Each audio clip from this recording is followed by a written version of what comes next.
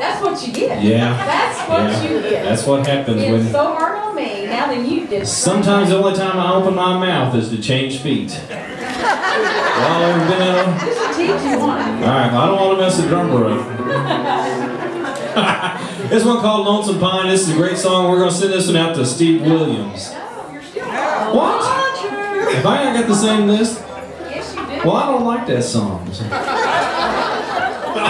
No, we're going to do My Shoes Keep Walking Back to You. Oh, At least now, at least now you all know what the next three songs are anyway. So.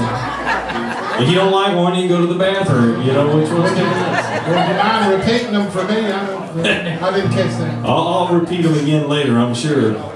I need one of them big crayon marks so I can just kind of scratch through this. So.